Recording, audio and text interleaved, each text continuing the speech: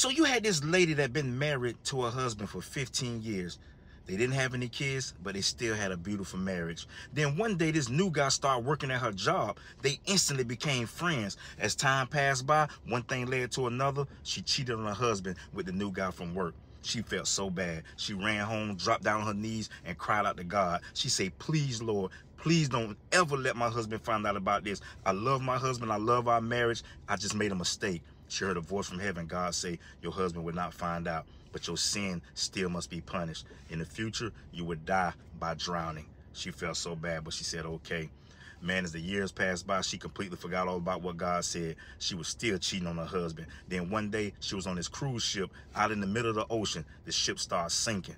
Man, she remembered that God said she was going to die by drowning. She dropped down on knees and started crying out to God. She said, God, please, please, I know you're not going to kill all these people just because of me. She heard a voice from heaven. God said, of course not. Do you not know how long I've been working to get all you cheaters on this boat at the same time?